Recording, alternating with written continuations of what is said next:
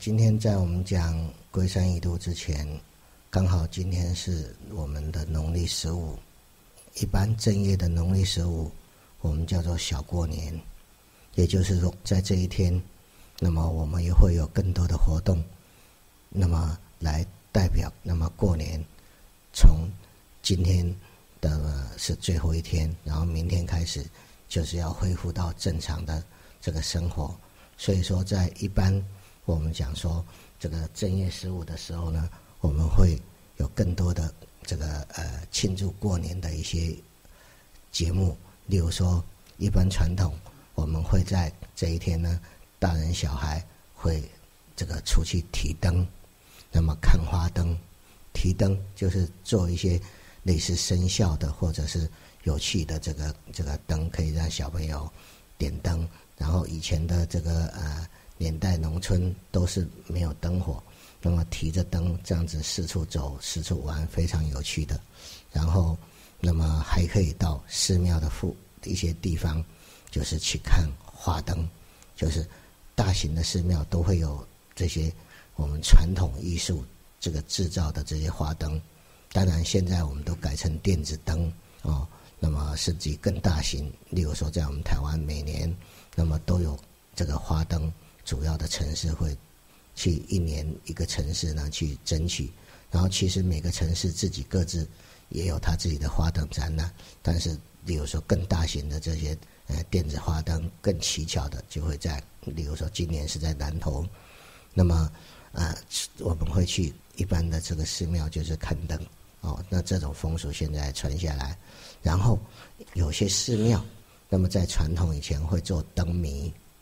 就是让我们这个去猜谜，这个猜谜呢，以前都大部分要要有学问的人才能够猜出来。那现在的灯谜大概有时候都比较简单，那么老少皆宜。然后呢，只要你猜对的，那么就会有奖品。那么以前的话的灯是灯谜是很难猜的啊，好多种猜谜的方式，它它写在那个一个词句里面。它有长头的，有有这个什么，嗯，签字的，哇，好多方式。那么有时候你真的是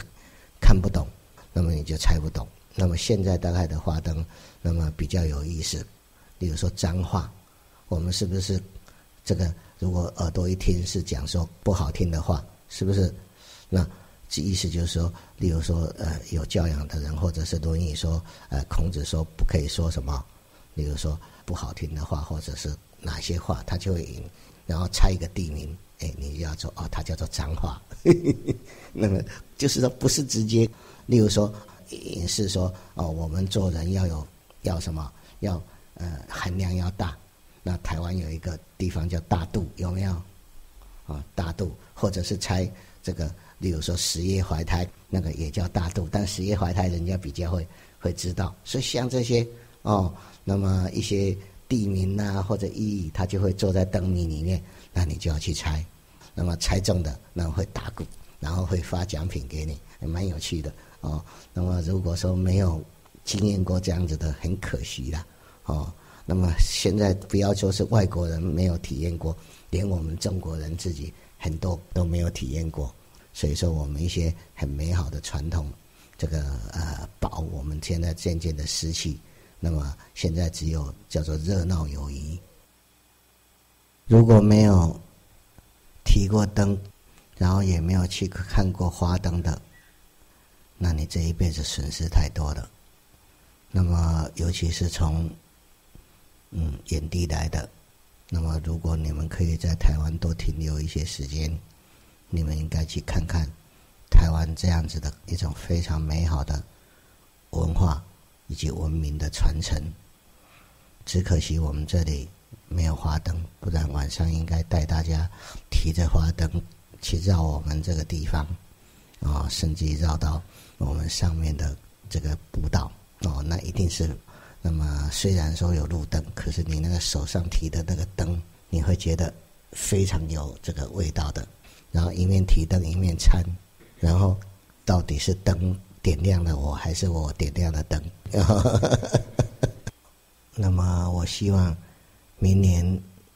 的这个中原的十五，提灯，我们常住可以准备灯，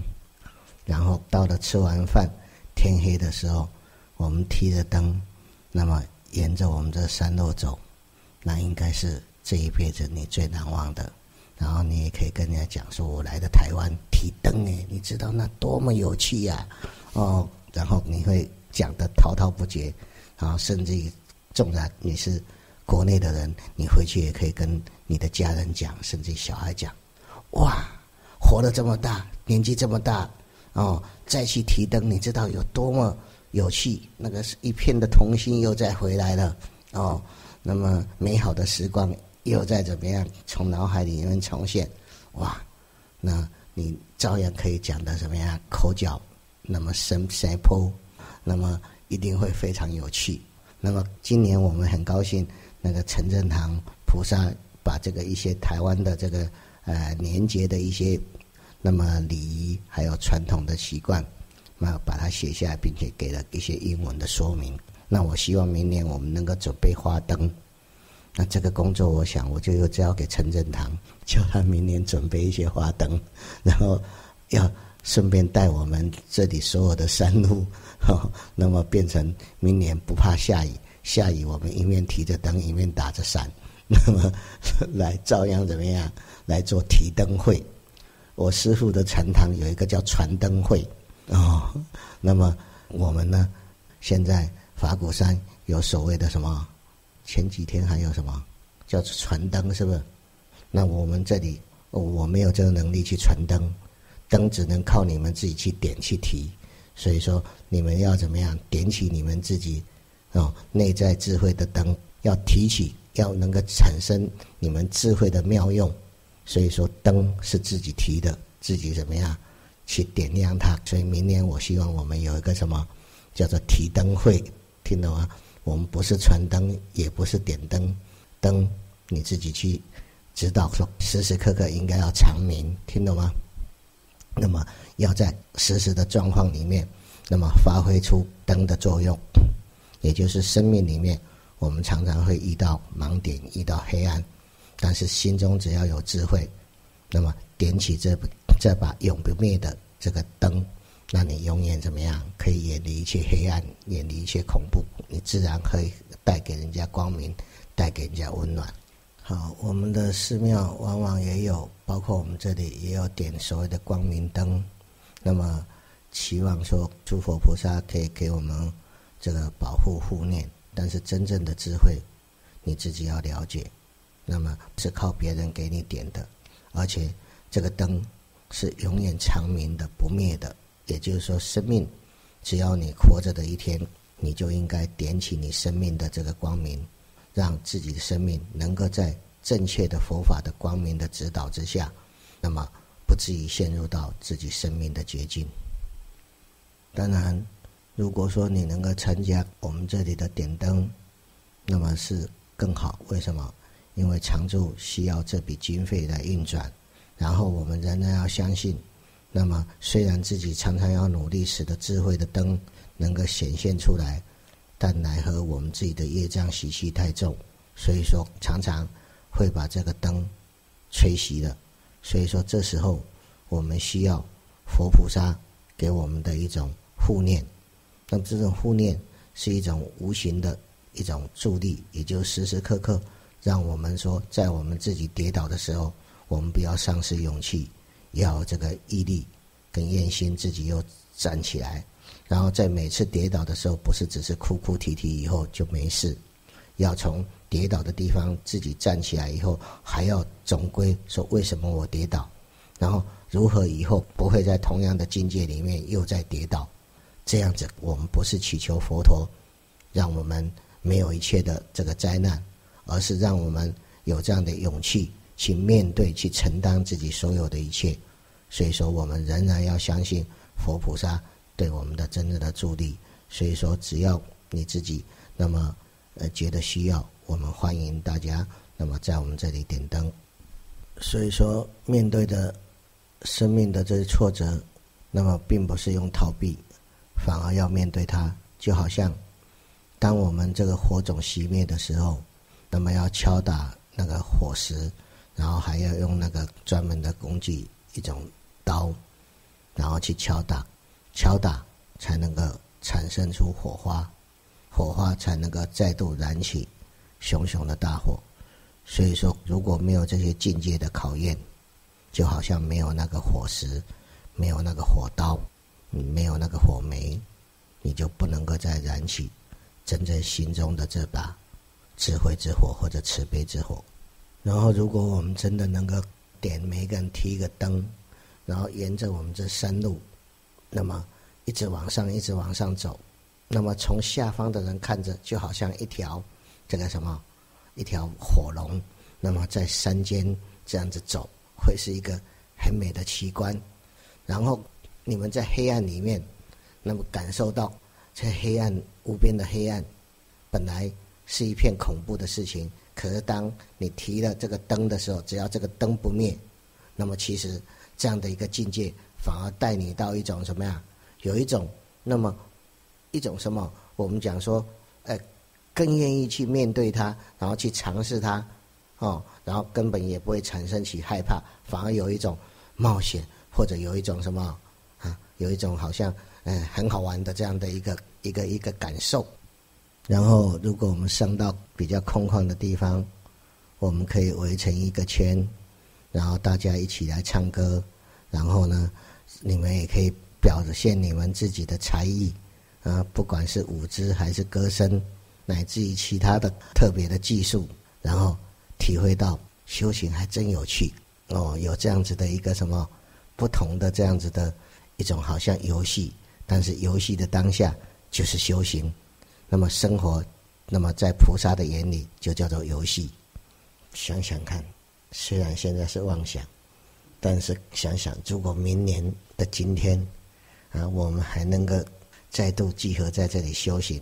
然后到了夜晚的时候，我们每一个人可以做萤火虫，点起他们自己闪闪一闪一亮，哦，或者是做天上的星星，这样子提着灯，然后聚会在一起，然后一起唱唱跳跳。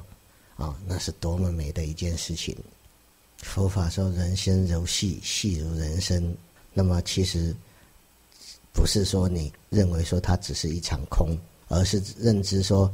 缘起的当下，一切的因缘都是那么奇妙，那么不可思议，那么美好，但是又没有任何东西可以去执着。所以说，如果你们的禅修可以到达这样的境界，那我就可以恭喜你们了。对大多数来讲，你们现在都只是死死的缠在这里，好像用丝把自己绑得紧紧，然后让自己喘不过气来。说：“哎呀，我要死的，好吧，就让他死吧。不死的话，不能活过来。然后让自己不能呼吸，不能够啊思想，然后以为这样子就叫做参禅，那叫做参死，不叫参禅。好，所以说在这里，我竭诚的欢迎，也是邀请大家。那么在每年。那么从过年的除夕，一直到我们小过年的十五，欢迎你来到我们义佛寺。那不是义佛寺，祖师禅林，因为在义佛寺太久了，在祖师禅林跟我们一起来过这个佳节，我相信会很有趣。尤其是我们这里的夜色风景，到了晚上的时候，你看一片万家灯火，然后每个万家灯火。当下，是每一户的人家喜喜乐乐，多少的人生的一种，我们讲说情境，就在这万家灯火之中，那么发生，人人那么都只是在过日子，然后没办法做自己日子的生命的真实之主宰，只是随随着这个时间，随着一切在漂流。那反观我们自己，我们提起的这个手上的灯，那么。点燃了我们心中的那个智慧灯，我们那么在激流，在种种的我们讲说人生的境界里面，我们却能够怎么样，并不是逃离这个激流，而是集这个激流之中，我们怎么样能够任运自在，那是何等的，我们讲说生命真实的美好，你这时候才能真正体会到，就好像夏威夷的那个冲浪好手。当这个风浪达到八级、十级以上，那么连船都不敢行。可是他们呢，拿起了自己的冲浪板，就往那个什么风浪最大的地方，那么冲入，然后呢，真正做到百浪滔滔我不怕，然后那种的我们讲在浪中的那种的豪情，在浪中的那种的自在，那么就是好比是我们那么一个生命的真实的好手。也就是我们每个人要做自己生命的好手，只要我们有真实的智慧，那么一切的苦厄、一切的灾难，纵然横立在我们面前的时候，我们也可以很轻易的度过。就像这些冲浪的好手，越是风浪越大，他们越不会灭顶，越能够什么，把他们的记忆展现到最高的境界。而我们呢，不要说是几级的风浪。我们只要无极的风浪，没有急速的风浪，我们只要站上去，我们都觉得浑险。然后十五以后，我们台湾还有很多那么非常有趣的，例如说在台南的盐水，是不是还是咸水盐水吧？好，有这个什么风炮，这个风炮意思就是那个什么冲天炮，然后呢几十万一起这样什么。在同一个时间里面，那么前后不觉的在几分钟内，然后几十万发的这个风炮，那么射出来哦，而且是向各个方向射出来。那你参加风炮这种呃，在那个咸水镇的咸水的哈盐水的哈盐水的地方哦，你就要全身装备，否则马上会炸的怎么体无完肤。那这是只有年轻有胆识的那么敢去，否则我们普通人被一个炸弹砰一下就吓得哇哇大叫。那么几十万发的这个什么，我们讲风炮在你的这个什么周遭里面，而且大部分都会直接打到你的身上，炸的你的皮肉呢还是有会痛，甚至有的还会受伤。那那种的哦刺激，也不是别的地方可以找到的。那同时，在这个台东还有一种叫做炸邯郸，也就是说，类似像郑先啊，只穿着短裤，那被人家这个抬在一个这个什么杠子上面站着，然后呢，所有的人拿鞭炮怎么样往他的身上炸，那么也就是他变成主角，然后所有的什么万炮，当然跟风炮一样不不一样，风炮是什么啊？是直接像冲天炮射出来，炸邯郸的那个炮呢，比较有类似像我们点的那种要甩的炮，就是往那个邯郸爷身上去甩，然后呢，把邯郸这个炸的越惨的时候，代表你的霉运怎么样，可以炸光。嗯，就好像耶稣钉在十字架的时候，当我帮助我们罪人什么洗净我们的罪业，听懂吗？所以他流血流的越多的时候，我们的罪洗的越清楚。越干净，那么，那么如果说，呃，像这个邯郸爷被炸的怎么样，越惨，那么代表所有参加炸的人的什么的这个所有的霉运就可以炸光，所以这个邯郸爷很凄惨，因此不是不是从前到后都是他同一个人，因为受不了，那么在中间其实会常常会换人，然后这些有时候都是自告奋勇去的，听懂吗？哦，因为那个。这些万炮齐炸在身上，真的是血肉跟着一爆就爆爆伤了，听懂吗？那么然后血肉淋漓，不是只有一个胆量，而那个参加那个邯郸被炸的人，往往是认为他自己罪过越大，听懂吗？只有借这样子来代表邯郸，然后被人家炸的这样子什么稀里哗啦的哦，炸的怎么样，甚至于血肉都很惨，那么才能够把他自己的罪呢能够洗净。所以说。往往在上面的人呢，都是什么志愿者，然后都是无偿的，然后都是认为自己那么过失最重，唯有借这样的方式才可以把自己的罪业消除。所以这一类是什么？在修行的时候的宗教的一种苦行有没有？尤其是印度的那些苦行僧，更是以体血肉的这样子的呃自苦的这样子的修行，当做除罪最好的方法。嗯，就是一种炮，这可以直接一点就呼，就就就就就就这样子。会爆炸。会啊，当然会爆炸，不然怎么叫炮？哦，所以它像风一样的，那么来叮咬人家，所以说叫做风炮，一下子十几万发就同时出来，所以说可见你没有去经历。留在这里，哦，看谁有胆带我们陈校长去经历一下，不然远远看也能够尝试到。这两个活动呢，都是人山人海，那么非常疯狂哦。那我也只是从电视上看到，我也真想说有机会去参加哦。是我们一起去吧。好，有胆的我们一起去。一辈子如果没有这样真实去体验，有点错身在台湾，他真的可能是超越我能够文字去形容的。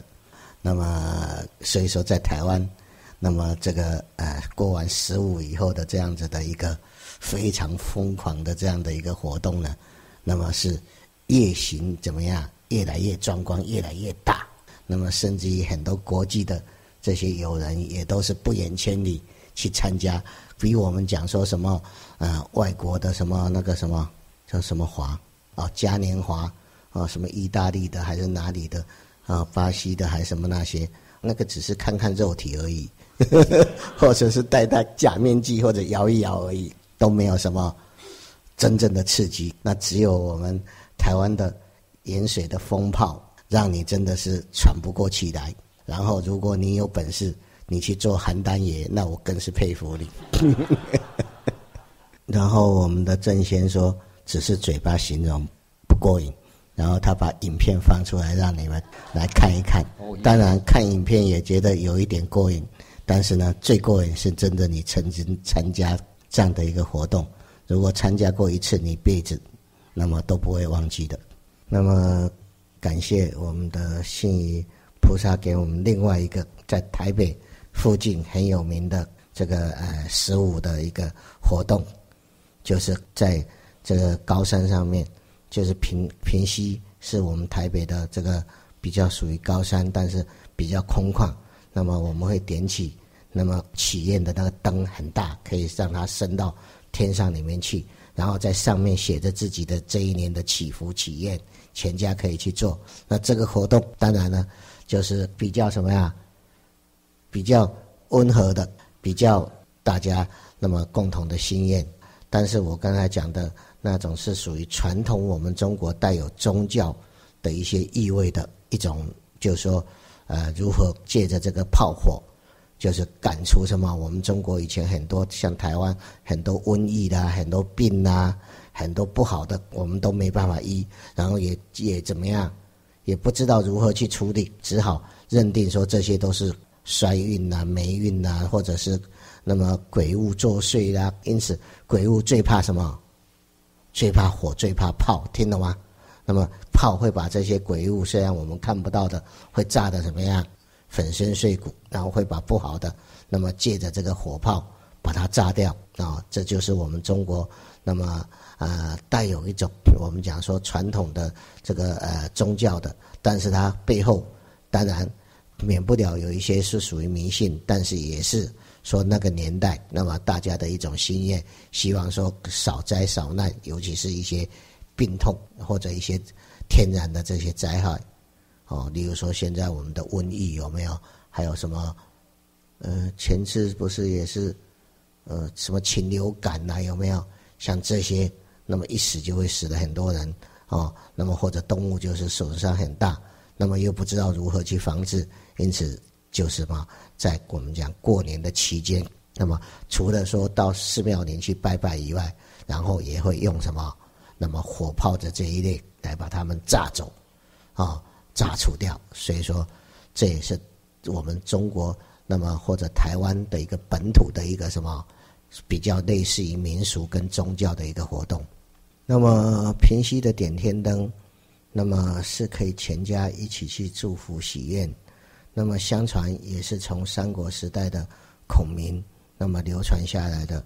我们知道孔明在我们中国是非常传奇的一个人物，在中国后世认为他简直就是什么，不仅是军师，而且是有什么那么一些神术的。例如说点天灯，那么为什么点天灯？例如说孔明知道自己的兽快要灭绝了，那么他就用这个什么点灯。就是在呃这个呃各个方位，那么点上灯，那么来延长他自己的寿命。那么只要这个七七四十九天把这个灯点过，然后不熄灭，它的寿命就可以延长。哪知道眼看着已经快要点到什么四十九天的时候，突然有一天被什么被一个冒失鬼一撞进来，就把他的灯怎么样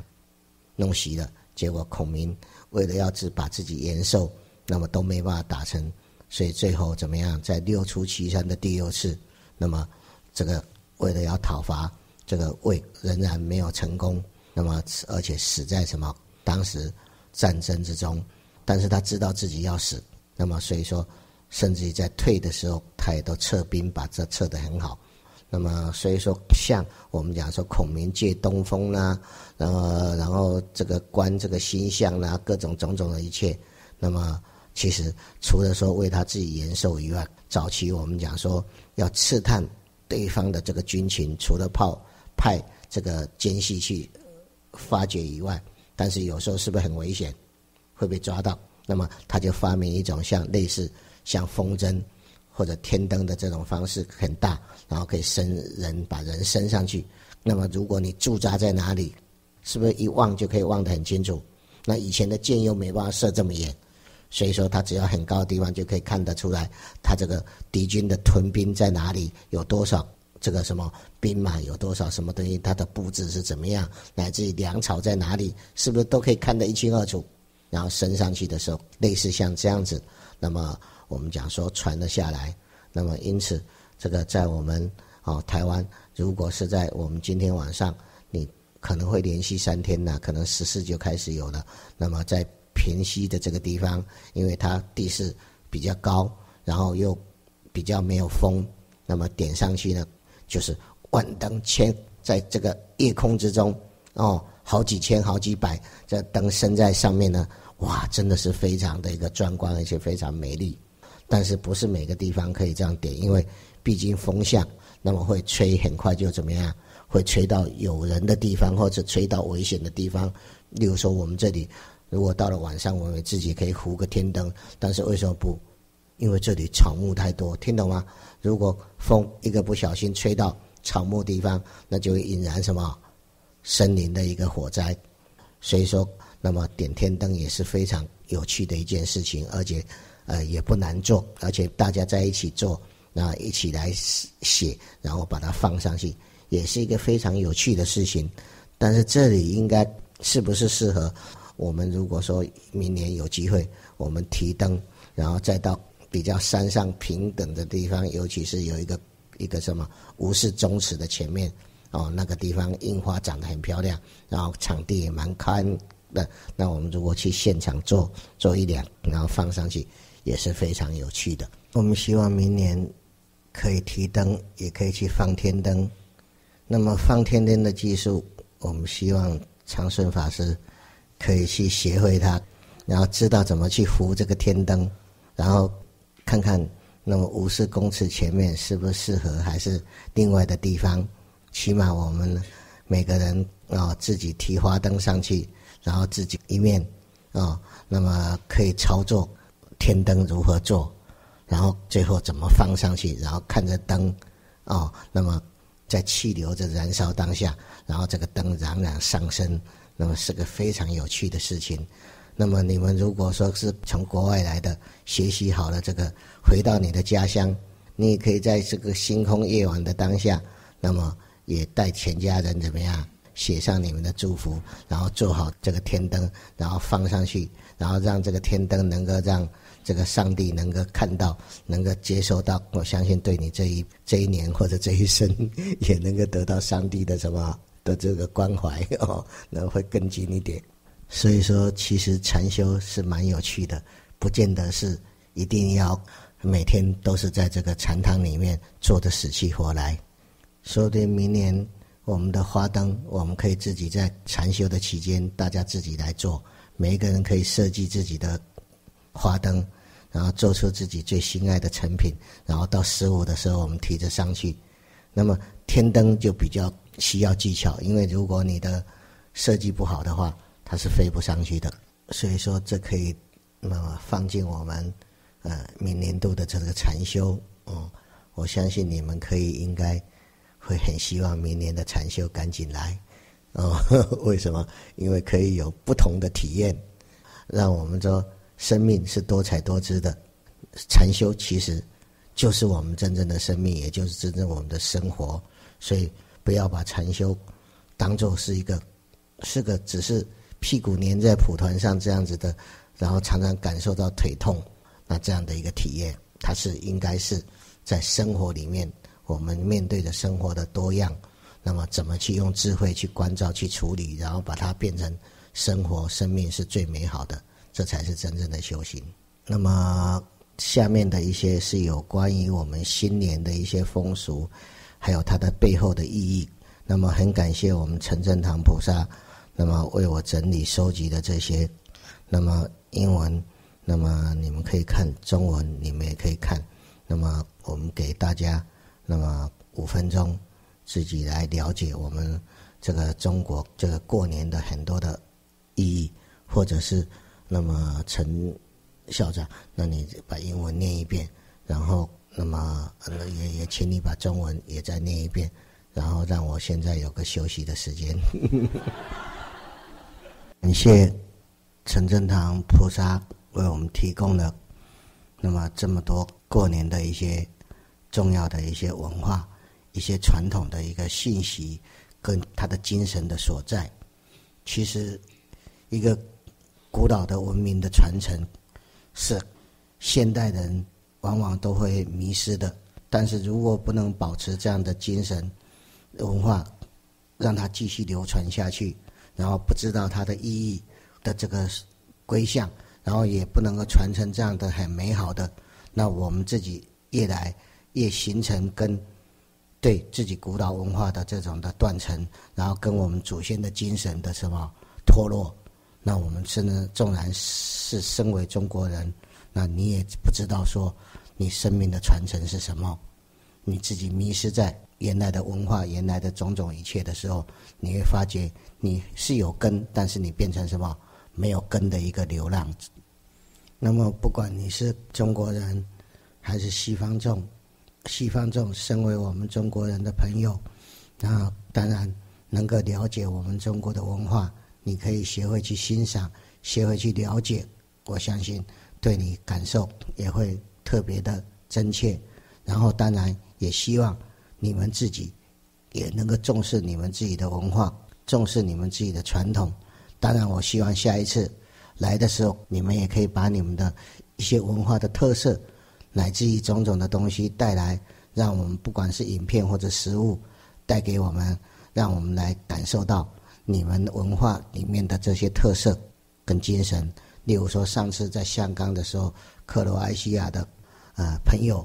送我的一个他们自己家乡的一块石头，我从香港也带了回来。那么现在在我的小餐室里面，那么是一个我们讲说非常有意义。然后呢，是代表他们当地的特色。然后那个石头虽然不会讲话，但是呢，它其实时时刻刻都对着我讲话。尤其是石头上面有石花。那代表是经过岁月的一些锻炼跟洗礼，然后呢，它是自然的那个中间是空，也就是色即是空，空即是色。所以说，从这个石头里面，那么我感受到他们对我的那个真实的心意，然后从这个石头里面，我也感受到，那么虽然是无情的石头，可是它是是友情的，在对我时时刻刻在说法。所以说，这坨石头。代表了佛陀的无言教法，所以说也代表了克罗埃西亚的朋友们对我深深的祝福，所以说我很感激他们，所以我也是从老远把他带了回来。虽然只是个石头，可是对我来讲，它的情意深长，还有它里面内在的真正的所要呈现出来的内涵，是超过一切语言可以形容的。那你不管是从任何角度，都可以欣赏到它的所谓的呈现出来的那真实的美感，然后真实的一些各个不同面向的表达，都是最安宁的，然后最真实的、最完美的，甚至于这个圆洞也不是人工去把它挖出来的，这是天然的。所以说，这个石头呈现出来，我们讲说是老天最佳的杰作，是超越我们人能够用我们自己的手。去能够真正呈现出来的。比如说上面的石花，然后这样子的经过岁月的穿过的这样的天然形成的这样的一个圆形，然后各个棱角呈现出不同的面相，都是代表我们生命就是有这样子的多方面的呈现。然后在呈现的当下，那么每一个面相都是最圆满的、最真实的。你们可以把它拿下去，一个人一个人手中停留一些时间。然后你去感受到它那个实实质的那个触触感，那么是那么的细嫩，那么的好。然后从眼睛的视觉上，你从各个角度来感受它，不要给它任何的形容，你只是用你的心去感受它。其实这个就是禅，而且它不是只是所谓的一种练习，它当下就是禅，就是我们的生命。所以说我希望下一次你们来的时候，都可以把你们自己的作品，把你们家乡的一些美，那么不管是用画像或者是用语言，那么能够来跟我们共同来分享，让我们感受到你们家乡的可爱，然后家乡的美好。虽然说我们不能够跟你同样的生活在你的家乡，可是我们会把我们最美好的祝福给你。的家乡以及你，例如说，我们的大兴法师从意大利来，我只知道意大利的男人很多情，然后在电影里面，那么看到的意大利，那么就只是这样，所以说就会有一个错觉。你看我们的这个大兴法师，他不是多情，也不是善情，也不是绝情，而是真正的友情。所以他的呈现，当然就是我们一个最好的认知。但是还有更多的，我们还是希望说，他能够跟我们，那么其他的时间也可以跟我们共同来分享。所以说，不是意大利的每个男人都是这么善情，因为大兴法师就是从意大利来的男人啊。但是我相信意大利很多更多的美好，那么希望说他能够，例如说在下一次的时候，我们可以有一些类似这样的课程，那么互相可以交换。我们自己对家乡的美，然后对家乡的爱，然后让我们现在那么在一起的异国的朋友也能够感受到那么家乡真实的这个美，包括我们讲说风景的美，包括文化美美，包括人情的美，种种的一切，我希望都能够在我们下一次的一些活动里面，我们应该要把它设计出来。这才是我们讲说，真正我们主持禅未来要真正在禅训的内容方面，那么要去设计，也就是设计说我们的修行的内容要跟生活打成一片，要跟我们生命里面感受到的真实的美，不管是个人的生命，或者是家乡的，或者是传统的，或者是乃至于说你自己家乡的文明的种种一切。你都可以把它那个真实的美好，那么透过你自己的认知，然后让我们也能够感受到。我希望大家能够了解，就是说，可能我们这里的禅法的指导，那么是绝对不像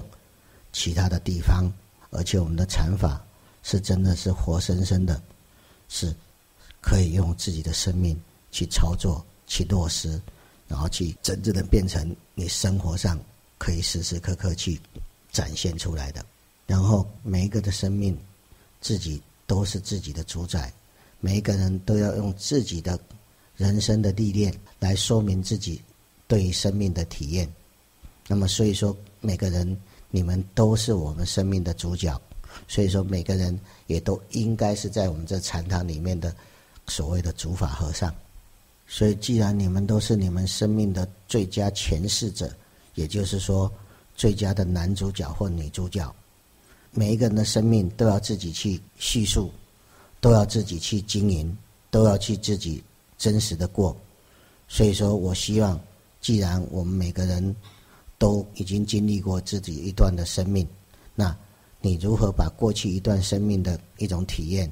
经由你的这个叙述，让我们大家也能共享到每一个人作为自己生命主宰。的各个的面相，当然这不是做硬性的要求。我们只是希望说，我们可以设计一些这样的呃课程，让每一个人真正来，那么展现，那么出他对于生命的不同的体验，这才是真实的。我们讲说是禅禅，因为禅就是真正的智慧，能够面对我们每个人不同的生命、不同的生活，那有一个正确生命的这个认知，还有真正的去如何操作。或者经营你自己的生命，所以说以后我们的禅修，你们不只是参与者，而且你们是什么真正的执行者。所以说每个人在这里既是参与禅修，又是什么？那么操作这个禅修的进行，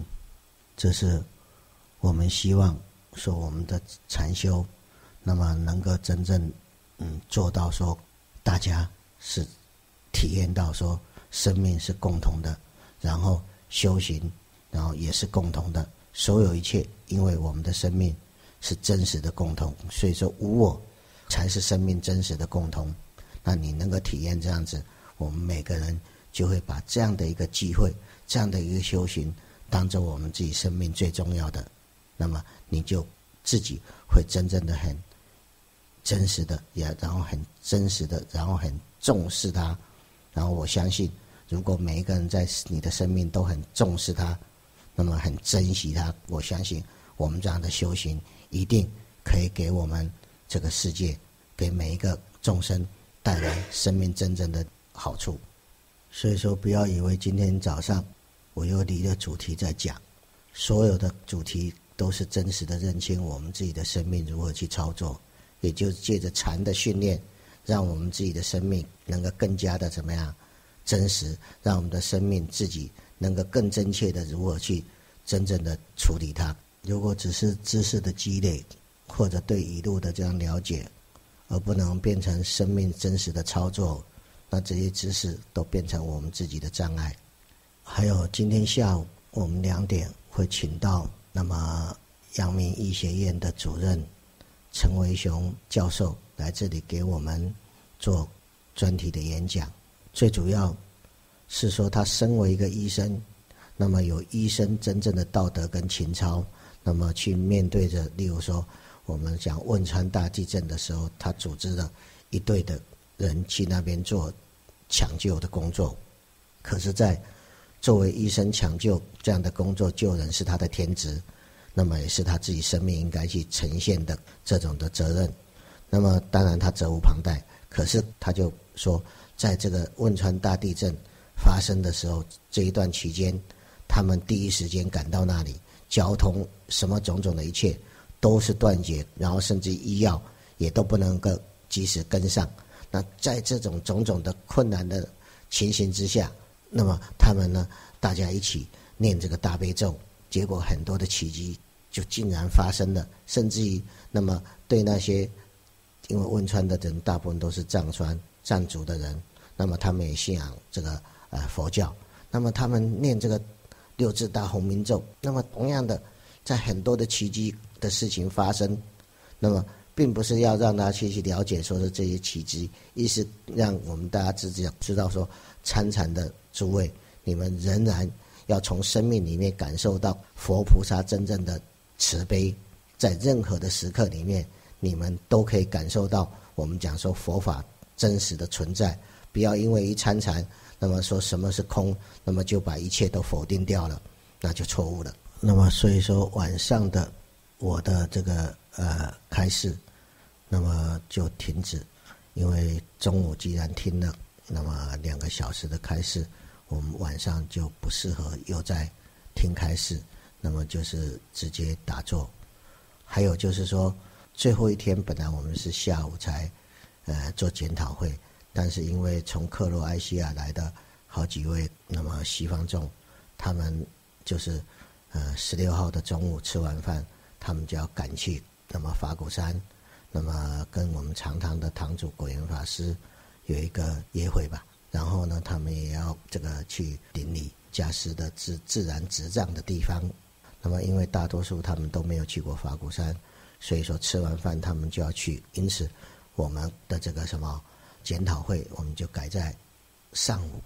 那么下午的时间两点，我们继续再打坐，打坐到三点半，然后这在这个整理我们所有的一切这个器物，然后呢，在这个什么离主以后，我们在四点左右，那么才结束我们这样的禅期。然后我当然竭诚的欢迎大家，那么禅时结束了以后，还是继续停留在我们这里。当然，我们的课程就不会这么严格，会比较轻松。但是欢迎你们停留在这里，不管多长的时间，那你们都是我们最佳的客人。那么今天就讲到这里，感谢大家。